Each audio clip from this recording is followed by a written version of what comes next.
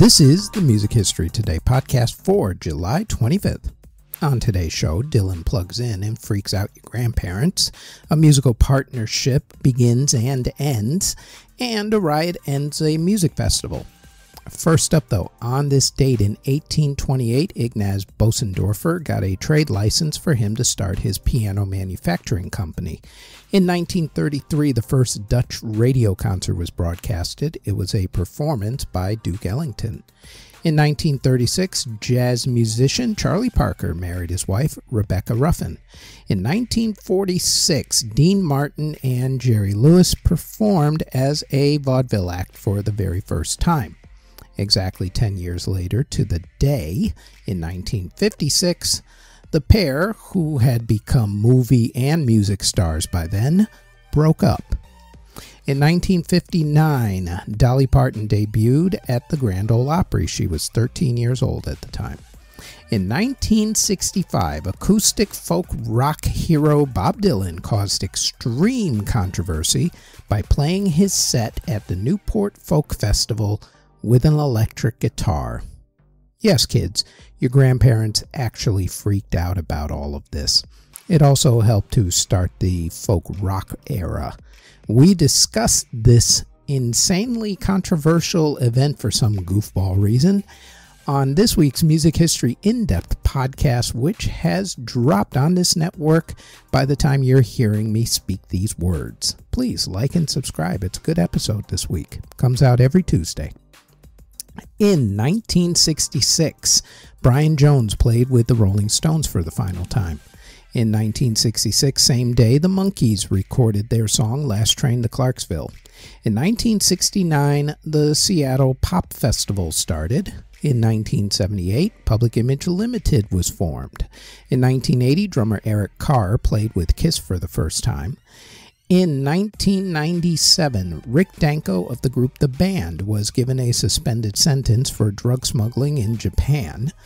In 1999, the Woodstock 99 Music Festival ended with riots, among many other crimes, including alleged sexual assault. In 2001, Aaliyah performed for the last time when she made an appearance on The Tonight Show. And in 2009, Red's Recovery Room, the dive bar that was in the Tom Waits song Filipino Box Spring Hog, closed for good. In classical music in 1976, the Philip Glass opera Einstein on the Beach premiered in France. In theater in 1964, the musical Here's Love closed on Broadway, and in 1975, the musical A Chorus Line debuted on Broadway. Albums that were released in the UK on July 25th include in 1966 when the Troggs released From Nowhere, The Troggs, and in 1969, Yes released their self titled album. Meanwhile, in America, in 1966, the Troggs released a different album from From Nowhere. They released Wild Thing. In 1970, Creedence Clearwater Revival released Cosmo's Factory and Donovan released Open Road. In 1973, Cat Stevens released Foreigner. In 1980, ACDC released their classic Back in Black, and Teddy Pendergrass released TP. In 1983, Metallica released Kill 'Em All. In 1986, the Two Live Crew released The Two Live Crew is What We Are. Also in 1986, Loudness released Lightning Strikes. In 1988, Kim Carnes released View from the House, and Kool and the Gang released Everything's Cool in the Gang, Greatest Hits, and more. In 1989, the Beastie Boys released Paul's Boutique, Alice Cooper released Trash, and the Bee Gees released One. In 1994, the Boredoms released Chocolate Synthesizer. In 1995, 311 released their self titled album, and Bone Thugs and Harmony released E 1999 Eternal, a classic album. In 2000, Dark Tranquillity released Haven, Béla Fleck and the Flecktones released Outbound, and Dion released Déjà Nu. In 2006, Tom Petty released Highway Companion, and Loverboy released Get Lucky. Singles that were released in the UK on July 25th include in 1980 when Peter Gabriel released Biko, and in 1986 the Cutting Crew released I Just Died in Your Arms. Meanwhile, in America, in 1966, the Supremes released You Can't Hurry Love. In 1973, the Doobie Brothers released China Grove. In 1974, Barry White released Can't Get Enough of Your Love, Babe. And in 1977, the Doobie Brothers released Little Darling. Before we continue, we'd like to tell you about the Music History In Depth podcast, where we go in depth on the history of some of the events from the daily version of the Music History Today podcast. The Music History In Depth podcast drops new episodes every Tuesday in audio and video form wherever you get your podcasts. We also have the Music Halls of Fame podcast, where we honor a year in music along with a member of the Rock and Roll Hall of Fame, along with who we think should be in the Rock and Roll Hall of Fame. Plus, we honor a different museum, Walk of Fame, or Hall of Fame. The Music Halls of Fame podcast drops every Thursday in audio and video form wherever you get your podcasts. Now, back to the Music History Today podcast.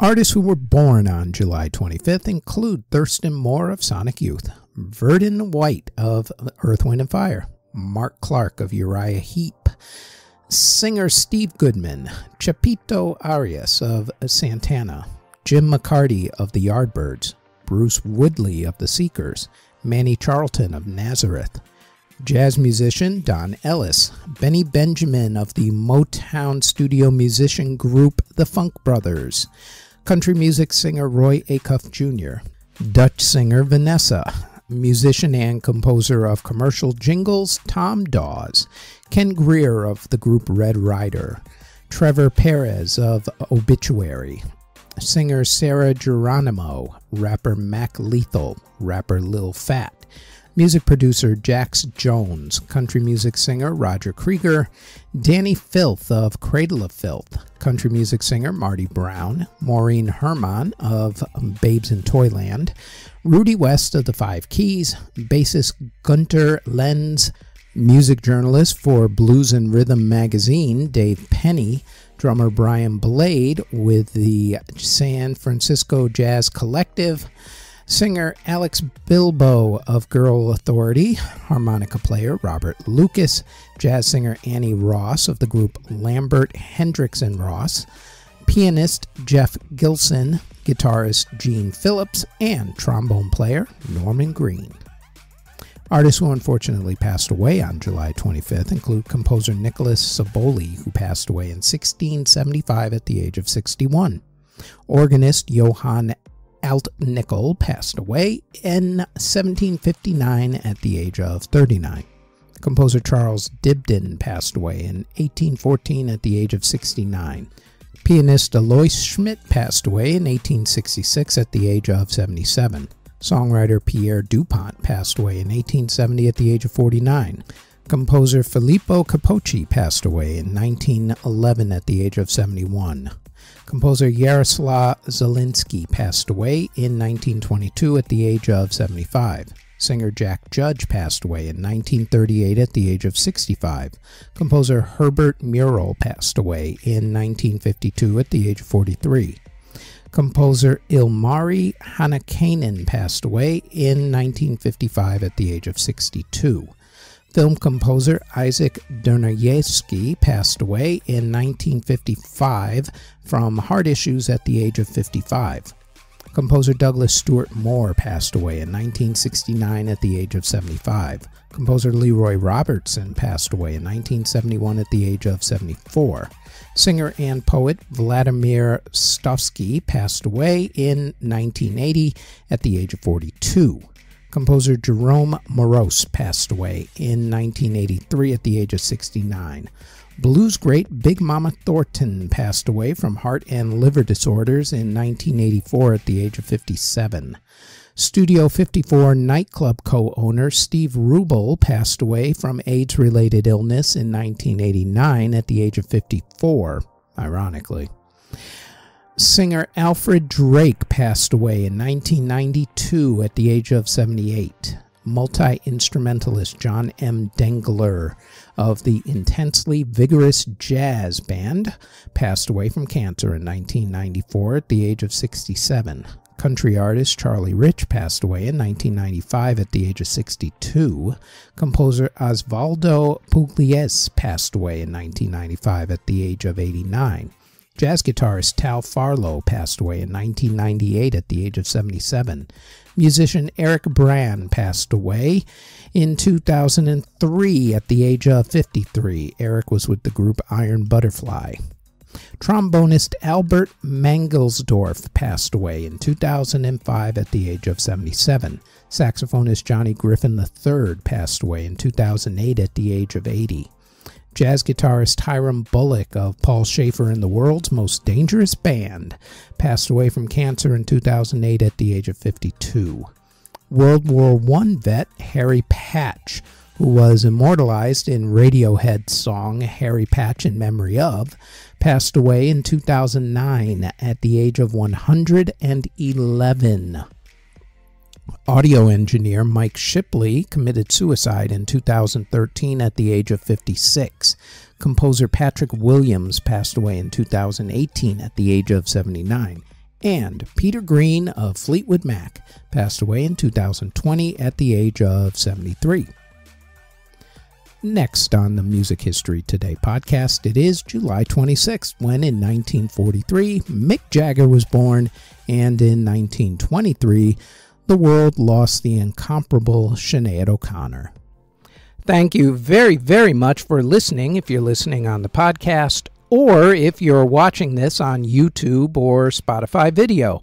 As always, don't forget to like, subscribe, comment, and share this podcast. And if you like this podcast and you want more of our podcasts, then I invite you to check out our Music Halls of Fame podcast in either audio or video form. It drops every single Thursday.